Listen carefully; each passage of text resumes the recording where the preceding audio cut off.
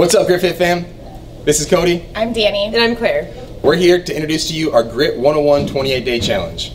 We hope that what we put together here is going to help you take things to the next level and really get intentional about your fitness goals.